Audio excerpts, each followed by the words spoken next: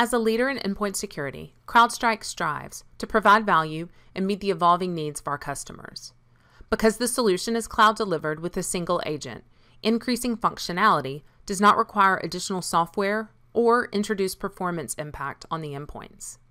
In this demo, we are going to look at how customers can use the existing Falcon UI and agent to manage the native operating system firewall on endpoints. Here we see menu options for firewall rule groups and firewall policy. Defining groups of rules for specified systems like laptops is the first step in creating logical firewall policies. Once a group is defined, CrowdStrike provides the option to clone an existing rule group or begin with a blank slate. For each new rule, a name and description is defined. In this example, we will simply block the ability to ping a specific DNS server. Network direction, protocol, and applicable addresses can be configured as needed. There is also an option to select a network profile. This location awareness feature helps ensure that rules are applied in the right circumstances, like when a user is on an internal network where the domain is reachable versus a public network. CrowdStrike also looks beyond simple network traffic and provides the ability to enforce rules based on the source process. This additional visibility gives administrators more granular control over how and when rules apply. Once added, the rule can be enabled and saved as part of the group. The configured rule groups can then be incorporated into a firewall policy for the managed endpoints. As we create the new policy, we again have the option of starting new or cloning an existing policy.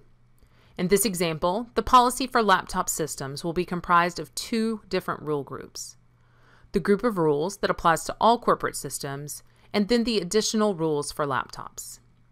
In both policies and rule groups, we have the option to edit the order of precedence. With the policy defined, we can now elect to enforce and enable that policy.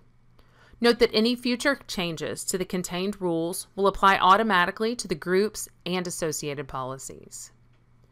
At this point, the rule, group, and policy have been created, but not assigned to any hosts. Before we look at the assignment process, let's take a look at an endpoint system. Here we see a corporate laptop with no existing firewall policy, where we can successfully ping IP address 8.8.8.8.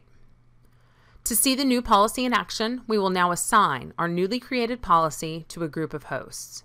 In this case, we will assign the laptop policy to all corporate laptops.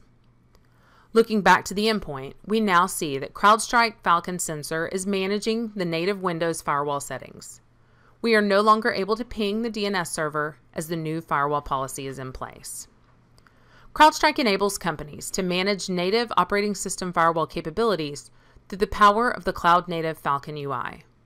This solution delivers central management of enterprise features, process based rule enforcement, and location awareness through a single agent with no additional performance impact.